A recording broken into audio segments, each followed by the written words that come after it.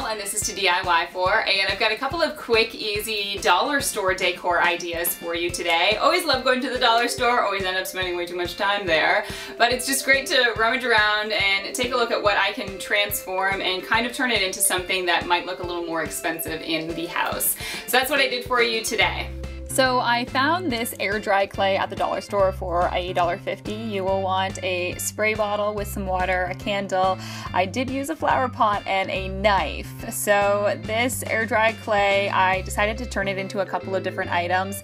I first split some clay into three pieces and the idea here was to create a new kind of clay pot. So I'm rolling them out in three different strands. I braided it together very carefully and I was really excited about wrapping this around around the pot and creating a new pot, but it completely failed. It cracked on me, so I would suggest not attempting that.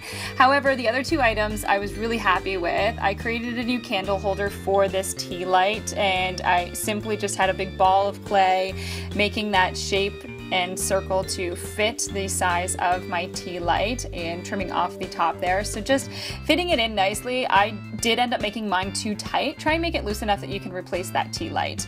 Afterwards, I just kind of cut it into a geometric shape with my knife. So cutting off random pieces, uh, really no rhyme or reason to this. It does take a while. It's a little tedious to try and get everything smoothed out with that knife and create those crisp edges.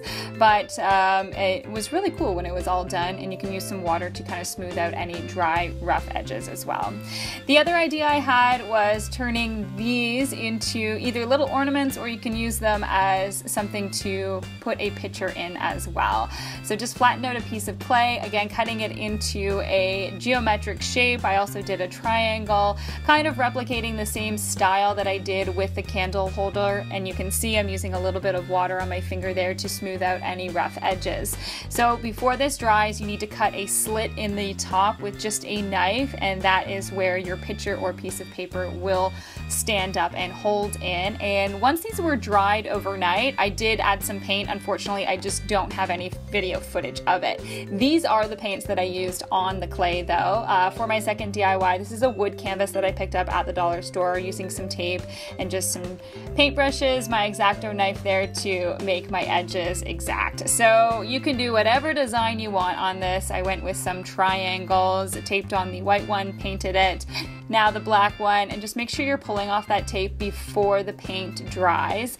Then next, allow both of those to dry if you're going to replicate this idea because you're taping over the paint and I am creating kind of a gold uh, arrow between the two of them. So you need to paint over the colors that you've already done. And then you just, again, fill it in with some paint and you can touch up the edges with a thin paintbrush and you're all done.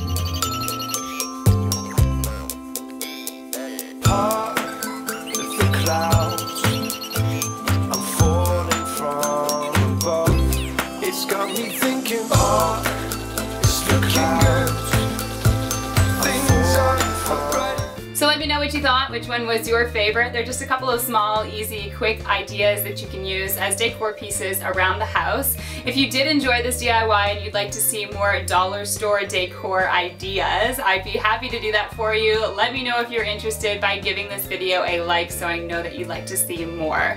Don't forget that you can always follow me on Instagram and on Twitter, and if you try out any of my DIYs, definitely send me a photo there and use the hashtag toDIYfor. Tag me in those photos because I'd love to see what you make. Don't forget to subscribe. I will be back next Wednesday with a new DIY. Cheers. Bleh, that's not, no. Those clouds are really pissing me off.